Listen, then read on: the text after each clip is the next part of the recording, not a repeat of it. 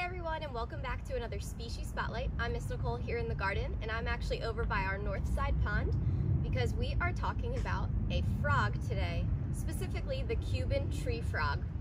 The Cuban tree frog is actually one of the largest tree frogs in North America.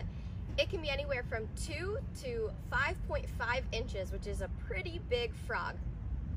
Now, not only are they a big frog, but they're actually super invasive here. And we do see them from time to time in the garden, especially in this area. But I'm not actually able to find any right now because they are typically nocturnal creatures and they go hunting at night. So it's hard for me to find one right now, but I will insert a picture right here for you to see.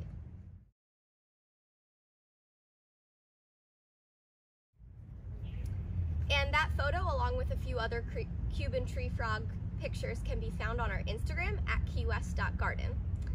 Now this species, like I said, is actually invasive here. It's originally from Cuba, the Bahamas, and the Cayman Islands. But um, here it made its way. It actually has traveled on um, different ships. Um, it's gone onto ornamental plants that people have purchased and that's how this frog has gotten spread pretty much all over North America and it's um, very invasive. And the reason it's super invasive is because it eats our native species. Now these frogs can eat lizards, snakes, um, insects, and they eat all of our native species. So they're taking out our native species and then they're reproducing. And not to mention, a female Cuban tree frog can lay 3,900 eggs. And those eggs get laid in the water, and as we know with frogs, we go from eggs to tadpole to froglet to frog. And these frogs can also live a pretty long time in the wild. They can live five to 10 years. So that's just some interesting facts about this tree frog. And there's some cool adaptations it has. Two in particular. One adaptation is that this frog's skin on its head is attached to its skull. Now, this is an adaptation that helps them um, with water.